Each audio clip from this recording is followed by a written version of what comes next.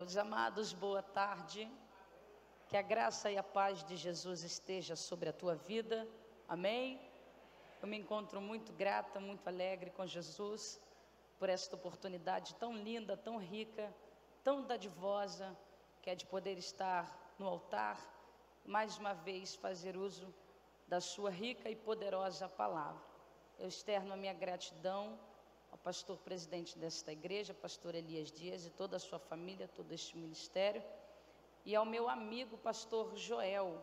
Minha gratidão a toda a família Celebrae pela confiabilidade em nos trazer aqui para sermos porta-voz da parte do Criador a todas as vidas que aqui se encontram. Como foi bem dito, o nosso clipe saiu dia 30 eu não vou cantar, tá, gente? Eu vou dar só uma palhinha do refrão. Que eu quero que você chegue em casa e assista o clipe todo, tá bom? E não só você vai assistir, como vai compartilhar com todos os seus amigos. Você pode dar uma cutucadinha no teu vizinho aí que está sentado do teu lado e dizer para ele: não é tempo de você parar Diga, é tempo de você resistir e reagir. Fala, você resiste primeiro e reage depois.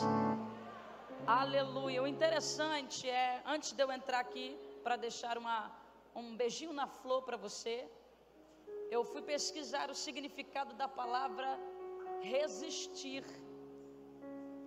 E eu vi que a palavra resistir, ela significa não ceder ao choque de outro corpo.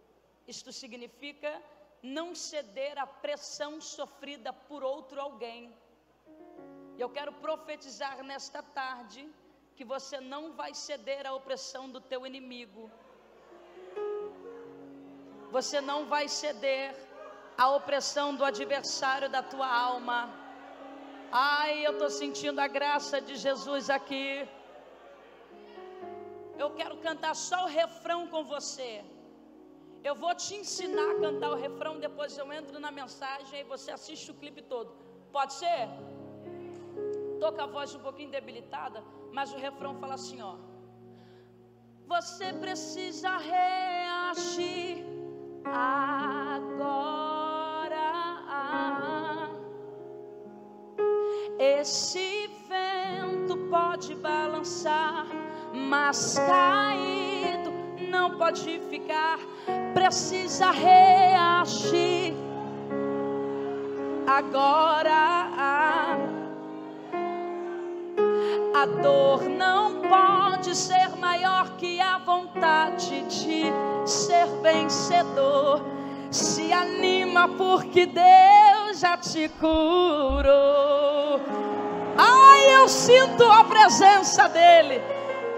Pega na mão desse crente aí, eu quero que você cante comigo, eu quero que você cante comigo mais uma vez profetizando para ele. Você precisa reagir agora. Diga para ele, diga para ele. Esse vento pode balançar, mas caído não pode ficar. Precisa reagir não é amanhã e nem será depois, tem que ser agora. Tem que ser hoje no dia com Deus. A dor não pode ser maior que a vontade de ser vencedor. Se anima porque Deus, eu preciso, eu preciso, resista. Eu sei que essa dor é insuportável, mas resista. Arranque esse bloqueio que te impede de seguir. Joga para fora todo esse sentimento de derrota. És mais que vencedor. Muito mais que vencedor. Você pode receber? Resista. A madrugada escura não é fácil, mas resista. Que o dia logo vem junto com o sol. A alegria recebe O momento de tristeza, mas você tem que secar as lágrimas e se levantar. Tem que se levantar. Se Deus permite o deserto, Ele sabia que você iria suportar. Então levante a cabeça. Então levante a cabeça. Então levante a cabeça. Então levante a cabeça. Sacode o ombro do vizinho diga: Então levante a cabeça. Então seque essas lágrimas do rosto. Então engole seco, pois caído não é o seu. Levante a mão aí recebe. Você precisa reagir. Uh! Agora Esse vento vai jogar para lá e para cá, mas nesse chão você não vai ficar. Precisa. Ai, eu vou pregar, gente. Agora, é, a dor não pode te ser vencedor.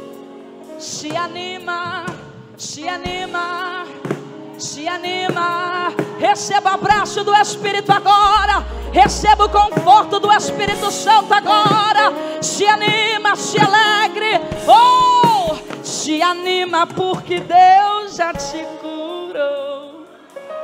Você pode dizer o glória a Deus, você pode dizer amém, oh, aleluia, amém, crente.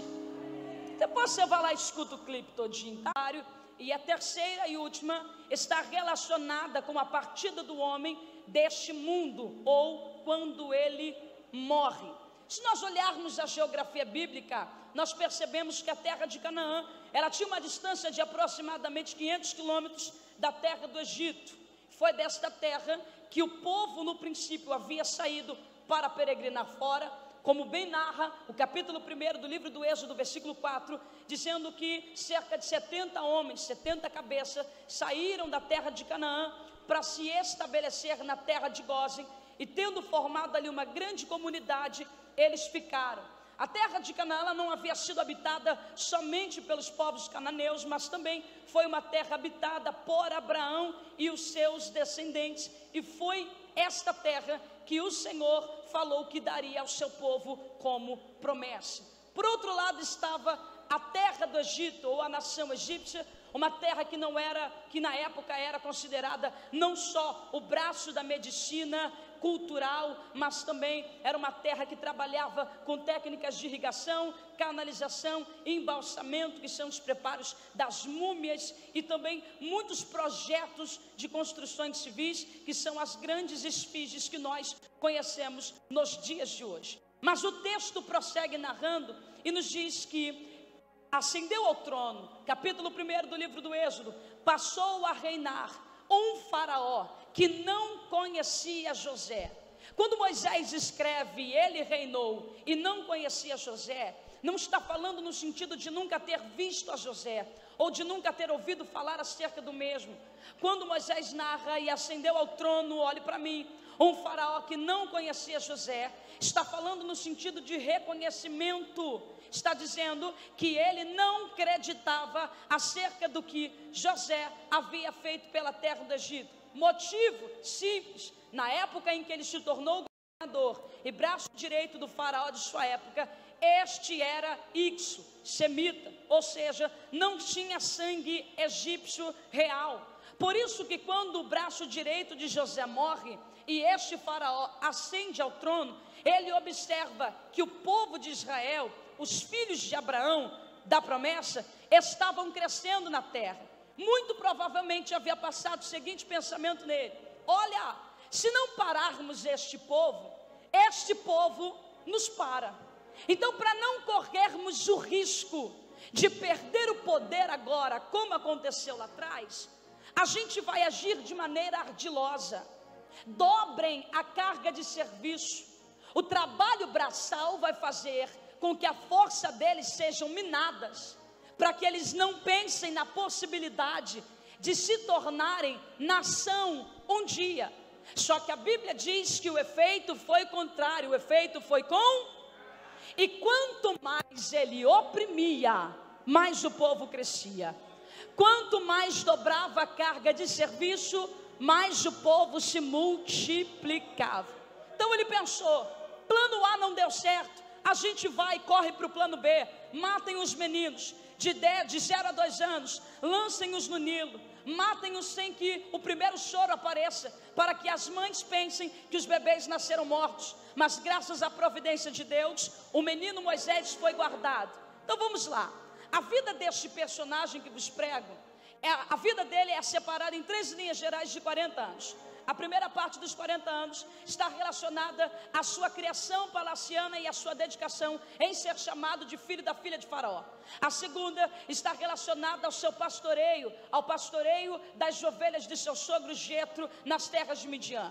A última está relacionada à sua dedicação em pastorear os filhos de Israel, guiando-os para a terra prometida. Se pudéssemos dar nome a essas três fases, nós diríamos que na primeira fase Moisés aprendeu a ser alguém, na segunda fase ele aprendeu a ser um ninguém, e na última ele viu que Deus tem o poder de fazer na vida de um ninguém. Mas quando nos deparamos com o texto em que lemos, do capítulo 3 do livro do Êxodo, a narrativa que antecede a este chamado 40 anos está no capítulo 2 e no versículo 11. O que é que diz o texto, Amanda? Moisés viu um escravo hebreu apanhando por um egípcio e decidiu salvá-lo. Só que nesta ação, movida por um desejo enganoso de propósito, diz o texto, que ele olhou para o lado e olhou para o outro. Eu quero que você guarda isso. Ele olhou para o lado e olhou para o outro. Olhou para as laterais, mas não olhou para cima. Olhou para os lados, mas deixou a vertical de fora. E consequentemente matou o egípcio. Só que não para por aí. Após ter tirado a vida do homem, ele enterrou na areia eu preciso te dizer uma coisa: que esconder um erro não o apaga, porque as areias sempre revelarão os teus segredinhos. Prova, vou te provar. Evangelho de João, capítulo de número 8. Uma mulher pega em ato de adultério, levaram-na até Jesus e disseram: A lei mosaica nos dá respaldo para apedrejá-la. O que tu farás ou falarás? A intenção, pegar o Cristo. Se mata a mulher, inflige a lei de Roma. Mas se não mata, pisa na lei mosaica. Mas o Cristo, na sua maneira linda de trabalhar, se agacha e começa a escrever escrever na areia. É lindo observar que a palavra escrever no original aqui está catagrafem, que quer dizer assinalar uma acusação contra alguém. Enquanto ele escrevia, era como se os pecados dos que acusavam a mulher eram todos escritos na areia. Quando ele se levanta, ele diz: Aquele que dentre vós nunca sentiu vontade de fazer como ela, seja o primeiro a tirar pedra. Saiu primeiro, saiu o terceiro e não ficou ninguém. Ai, porque não dá para esconder uma mentira ou uma meia verdade por muito tempo. Primeiro Reis 14. Se disfarça, mulher. Vai à casa de Aías. Jeroboão, como eu vou fazer isso? Bota a roupa e vai. Asaías é profeta, mas está velho. E além de estar velho, ele está cego. O que Jeroboão não sabia é que Aías havia perdido a visão, mas não a sensibilidade do espírito. Quando ela colocou a túnica sobre o corpo e ela veio se aproximando, o profeta de costa disse: Ó oh, mulher de Jeroboão, pode entrar, porque eu já te vi. Assim te diz o Senhor. Pega na mão desse crente inflamado pelo espírito, pega na mão dele e diga: As areias sempre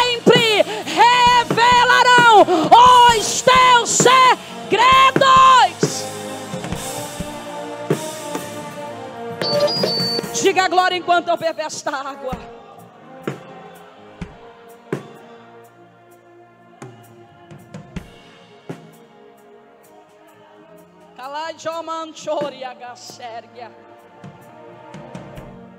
Mas é, 40 anos se passaram, continua. 40 anos passaram. Moisés fugiu por causa de um fracasso. Ele fugiu por causa de um fracasso Interage comigo, senão eu vou achar que você está dormindo. Ele fugiu por causa de um fra. 40 anos na terra de Midian, pastoreando as ovelhas de seu sogro Geto. Um dia que para ele era comum, fazia parte da rotina de pastor. Ele sobe nas planícies do Horeb e observa uma cena. A cena o chama a atenção. A sarça arde, mas não se queima. Está ardendo no meio do fogo, mas não é destruída pelo mesmo. Era comum ver sarça arder e se destruir, mas era incomum ver arder em um fogo inextinguível e continuar de pé, firme. Aí ele disse assim: Agora me virarei para lá e verei esta grande visão. Ele faz uma afirmativa: Porque a sarça não se queima. Ai, gente, perceba aqui: o que chama a atenção de Moisés não é o fogo, é a resistência que a sarça tem ao fogo. Vou repetir: o que chama a atenção de Moisés não é o fogo, mas é a resistência que a sarça tem a ele. Porque a proposta de Deus nesta manhã, nesta tarde, não é só de incendiar a tua vida. A proposta de Deus nesta tarde é de te dar sustentabilidade. Fogo é muito bom, mas sustentabilidade é melhor ainda.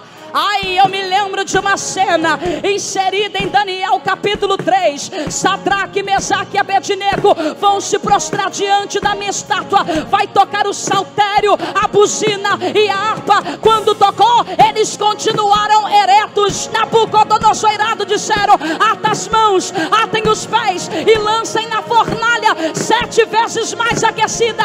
Mas é lindo observar que os que tacam morrem, mas os que foram tacados andam andavam, andavam, andavam. Ai meu Deus, pega na mão desse crente, pega no ombro desse crente, pega no ombro desse crente. Diga para ele: fogo é bom, o mistério é bom, mas resistência, sustentabilidade, permanência é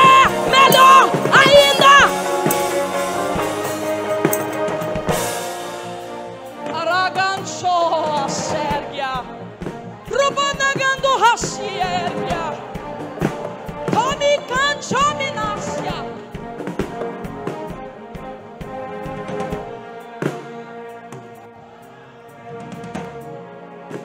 Preciso ir embora, que eu tenho hora. A sarça arte, mas não queima. É lindo observar a maneira de Deus trabalhar. Eu preciso dizer a vocês que o que acontece no capítulo 3, no chamado de Moisés, é o prelúdio do que vai acontecer posteriormente. Isto significa que eu posso fazer um paralelo com o texto bíblico, senhor não? Capítulo de número 3. A sarça arde em fogo, mas não é consumida. Para Deus se revelar a Moisés e chamá-lo para o cunho profético, ele faz um arbusto pegar fogo. Nós vemos uma cena diferente no capítulo 19 do livro do Êxodo. Porque se no capítulo de número 3 ele faz um pedaço do Horeb Fumegar, no capítulo 19, quando ele revela a lei, estabelece o seu padrão de santidade e mostra a maneira como ele deveria e queria ser adorado, ele não faz um pedaço do Horeb pegar fogo, ele faz o sinal inteiro fumegar. Aleluia! Ele faz o sinal inteiro fumegar. Só que segundo a geografia bíblica, Sinai e Oreb é o mesmo lugar.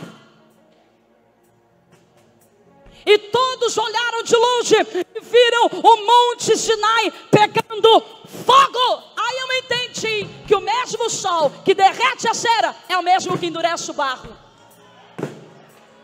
Só no capítulo 19. Por quê? O problema não estava na maneira como Deus se manifestou ali.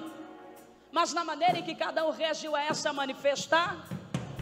Olha o que diz o versículo 18 do capítulo 20: E eles viram relâmpagos, trovões, e pôs-se em pé de longe, disseram a Moisés: Fale tu conosco e ouviremos, e não fale Deus para que não morramos. O problema é que uns fogem de Deus, mas outros fogem para Deus. Levante a mão que eu vou profetizar, porque eu não vim pregar para gente medrosa, eu não vim pregar para gente que tem medo de viver o sobrenatural, eu vim pregar para gente que se envolve, gente que é entra no meio da presença. Aleluia. Aleluia. A nuvem desceu e Moisés entrou. Eu só tenho uma coisa para dizer. A mesma nuvem que estava lá está passeando agora. Ai, ai, ai, ai, ai, o céu está falando. Entra, minha filha, entra. Olha como ela te envolve agora. Olha como ela te abraça agora. Olha como ela te convida agora. Entra na nuvem. Entra na nuvem. Entra nessa nuvem. Ai.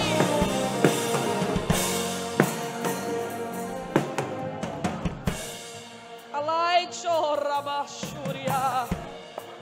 Oh, sikia night ergia sépia. Aleluia.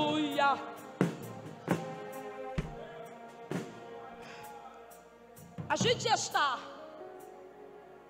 no capítulo 3. Quando Moisés observa esta visão, ele diz assim: Agora me virarei para para lá e verei esta grande visão, porque a sarça não se queima.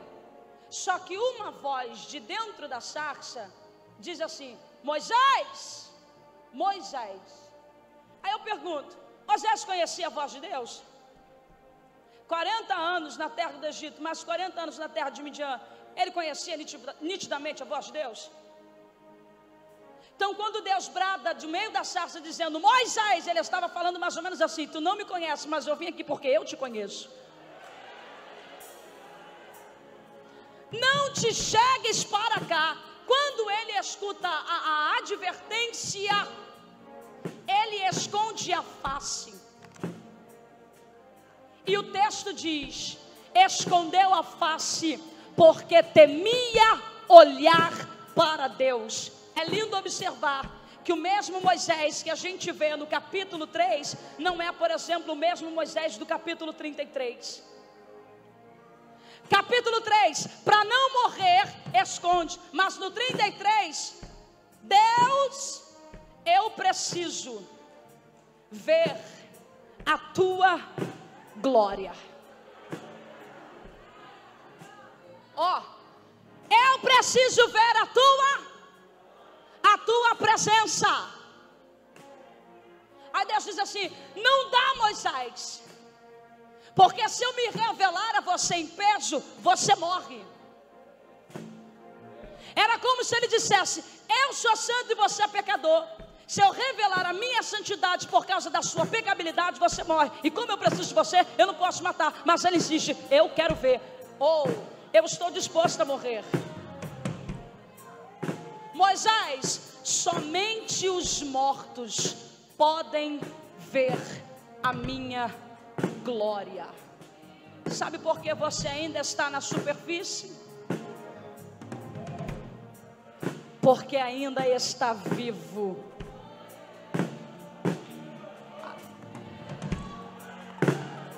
Dá um tapa no ombro do vizinho, diga: tem que morrer.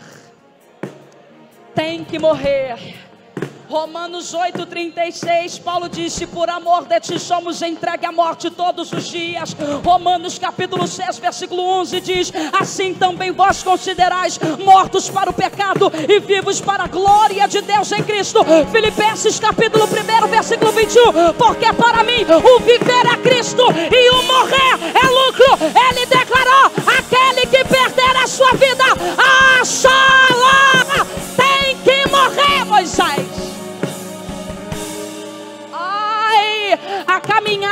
Cristo é assim: para ganhar tem que perder, para subir tem que descer e para viver você tem que morrer.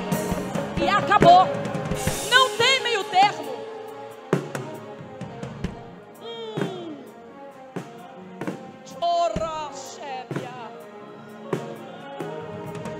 Calasturia ganda hasebe nascia. Encerrar.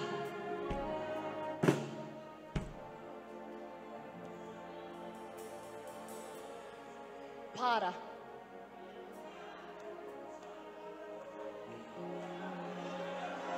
Para.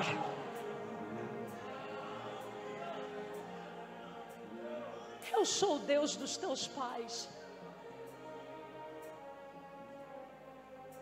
Abraão, Isaac e Jacó. Como se o Senhor estivesse falando assim, Moisés. Eu sei que você fugiu por causa de um fracasso, de um erro. E isso arrancou do seu coração todas as expectativas de viver um ministério profético. Eu falo isso sem medo de errar, porque quando a gente lê a narrativa do capítulo 7 de, de Atos, na retrospectiva de Estevão, falando desde o chamado de Abraão até a morte e ressurreição de Cristo, ele diz que Moisés entendia e acreditava que os seus entenderiam Senhor o havia chamado para libertá-los. Mas Moisés se dedicou à vontade de Deus, Amanda? Claro. O problema não está em se dedicar à vontade de Deus. O problema mora quando você passa a não se dedicar ao Deus dessa vontade. Aí a voz brada, 40 anos depois, do meio da sarça, diz assim: Eu sou Deus dos teus pais. Abraão, Isaac e Jacó. Ele estava falando mais ou menos assim: Moisés, faça uma retrospectiva. Abraão foi considerado o pai da fé e isso lhe imputado foi por justiça, mas mesmo assim falhou e eu cumpri. Isaac mentiu tanto quanto o pai, mas foi filho da promessa, eu cumpri. Jacó trapaceou, suplantou, mentiu, mas eu cumpri. Aleluia. Ele estava falando mais ou menos assim: Eu sou um Deus de alianças inquebráveis. Eu vim te lembrar, Moisés, que eu sou conhecido por causa da minha fidelidade.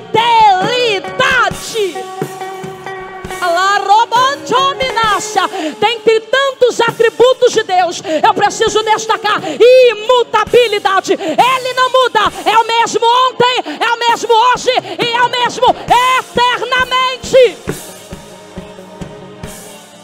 Eu fiz na vida deles e farei na sua.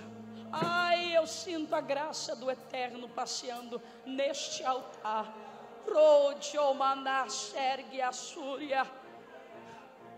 Vou fazer. Se eu ficar aqui para destacar tantas desculpas para viver o ministério profético, eu ficaria até amanhã, que Moisés dá. Mas eu vou falar apenas uma. Quando o Criador o direciona a ir à terra do Egito, com a responsabilidade de confrontar o Faraó e libertar os filhos de Israel, ele diz assim: Hã? se chegando lá, eu notificar, o Deus dos vossos pais me enviara, eles me perguntarão: diga-nos o nome deste. Aí o Senhor fala assim: Moisés, se você chegar e eles interrogarem, você só dirá uma coisa: o eu sou.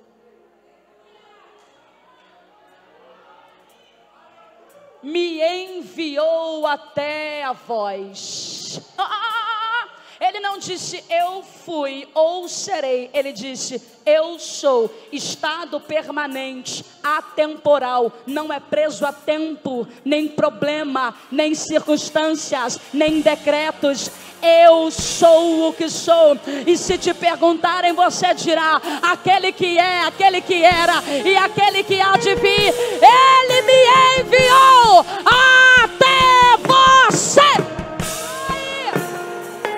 Aí, o profeta tem uma pérola que diz assim: e antes que houvesse dia, ele está dizendo: antes do tempo, eu não. Eu sou, sim. Antes que houvesse dia, antes do Cronos, eu sou. Não fui, sou.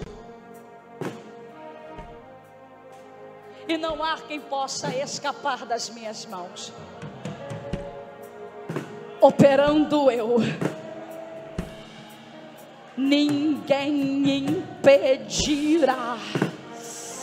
Ai, cata o ombro de um crente inflamado pela presença do Espírito Santo agora.